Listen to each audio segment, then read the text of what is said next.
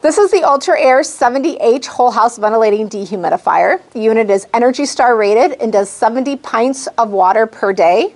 It is 5.1 amps with an energy factor of 2.4 liters per kilowatt. Uh, the unit features an 8 inch return duct and an 8 inch supply duct. It is unique as the supply can be placed vertical on the unit or horizontal, allowing it to get into really tight spaces, uh, mechanical rooms, especially in apartments and condo units.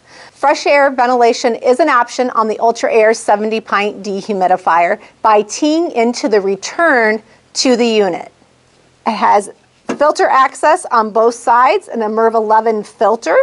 The unit does 1,800 square feet per day and features an onboard dehumidistat, but also can be wired uh, to a controller inside the living space. It has a width of 12 inches, a height of 12 inches, and a length of 28 inches, and that is with the collar on, and the unit weighs 55 pounds.